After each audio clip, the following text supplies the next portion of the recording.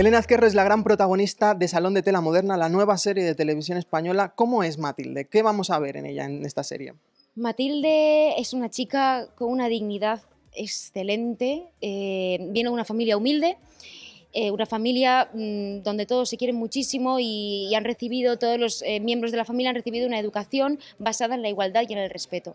Y se habla mucho en la familia de esta importancia de adquirir conocimientos y conocer el mundo y cultivarse aunque no se tengan medios y eso me gusta mucho de la familia porque define mucho cómo, cómo, cómo es ¿no? esa familia, eh, que es la única familia además en la serie que hay, eso dice mucho.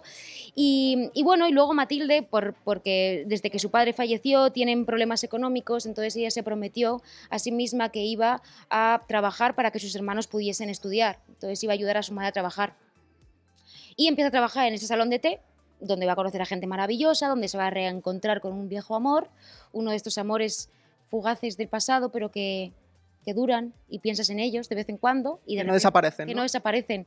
Y por casualidades de la vida, pues trabaja aquí, en el salón de té, no en el salón de tela moderna, sino en las galerías. Mm, y, esto va a ser una de, las grandes aventuras de, Matilde en, esta serie. Y luego aquí, en este salón de té, pues va a llegar y debido a la, educación que, ha, recibido, va a empezar a poner sobre la mesa ciertas reflexiones sobre por qué las condiciones laborales tendrían que ser de una manera y por qué las cosas tendrían que cambiar. Se habla de la emancipación de la mujer, de la igualdad. Bueno, de todo esto. Muy interesante y un privilegio para mí interpretar a alguien como Matilde.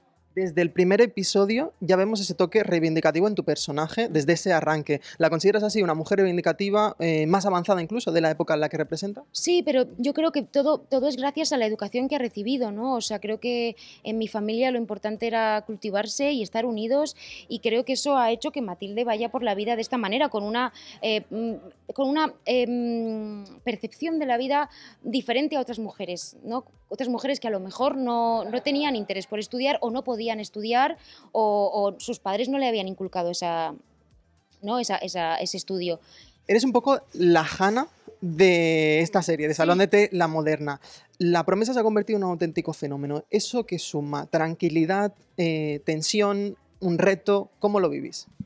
Bueno, eh, yo estoy muy tranquila porque yo pude ver el primer capítulo en, en Vitoria y me encantó y creo que a la gente también le gustó mucho. Entonces, creo que además es una serie muy luminosa, años 30, nada que ver con, con, la promesa, que, que, ojalá nos vaya igual de bien que, que, que, a la promesa, obviamente. Pero creo que además es una serie que, representa un Madrid de los años 30 muy, muy bonito, muy ingenuo, que no sabe lo que le va a pasar después a esa España de la guerra civil y todo esto. Entonces, creo que es, es una serie muy llamativa que, a la, que a la gente le va a gustar estar aquí en este mundo. ¿no? Y luego además es una serie que invita a conocer esa historia de España, que cultiva y que de repente van a de alguna manera llega esa historia a los salones del público y eso creo que, es muy interesante para, que la gente se, enganche a esta serie.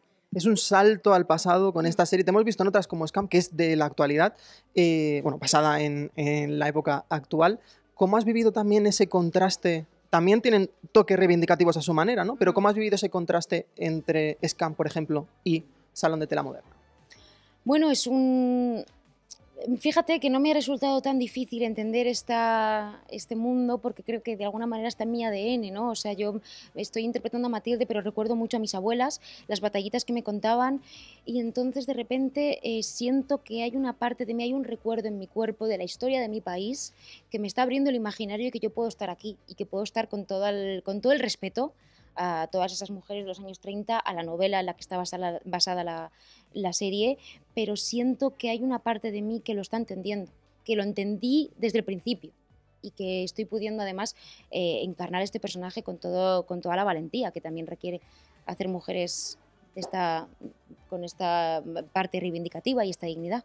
Y ya para acabar, mencionabas la novela, eh, que esté basada, aunque sea el punto de partida eh, en una novela, ¿qué aporta la serie? Quizás mm, también más compromiso a, ese riesgo de que tiene que ser al menos ese punto de partida una adaptación. ¿Cómo lo vivís también ese, Bueno, yo, yo ya me leí la novela, creo que es una novela indispensable. Luisa Carnés una autora invisibilizada del 27, ¿no? Es una, autora que tuvo que exiliarse y eso ha hecho que su novela llegara más tarde a España. O sea, hay mucha gente que no conoce a Luisa Carnés. Yo no la estudié. Entonces, para mí es un honor, para empezar, haberme leído esa novela y tener este personaje como Matilde en, mi, en mis manos ¿no? y poder jugar con ella. Entonces, em, yo estoy intentando que, interpretar a Matilde con todo el respeto y porque es de alguna manera hacer honor a esta, esta autora y a esta novela. Em, entonces la estoy intentando hacer con todo el amor y todo el respeto. Y claro, esta serie está basada en esa novela y hay personajes inspirados ahí.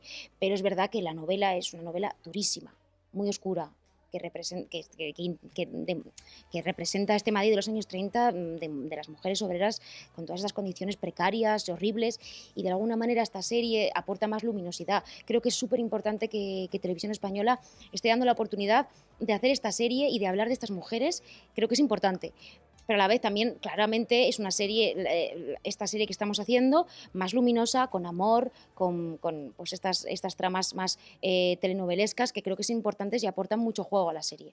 Quizás también es incluso un poco un homenaje a la autora, pero en el sentido de que eh, las protagonistas de esta serie son mujeres reivindicativas o que, que se muestra esa, esa faceta y ella también lo vivió en su propia piel, ese machismo o esas Mm, esa época. Sí, claro, de hecho, eh, Luisa Carnés eh, hace esta novela basándose en sus propias eh, vivencias, en sus propias experiencias. Ella también trabajó en una, en una, en una fábrica y, pudo ver de primera mano todas estas condiciones horribles que tenían las mujeres y creo que de ahí nace esta novela como, como lucha, ¿no? como una especie de, bueno, no sé, como de tratado para la lucha o o algo así. Creo que es súper importante leerlo porque es que de verdad em, no hay que olvidar el pasado y hay cosas todavía que, que, siguen pasando a día de hoy y la desigualdad con, con los hombres ¿no? En el, salario y creo que, fíjate, ¿no? esto pasó en los años 30 y aún seguimos, entonces creo que es importante que haya series así porque cultivan al espectador y te hacen, y, te hacen no olvidar. Útiles incluso en la situación en la que estamos, ¿no? Exacto, exactamente. Es un honor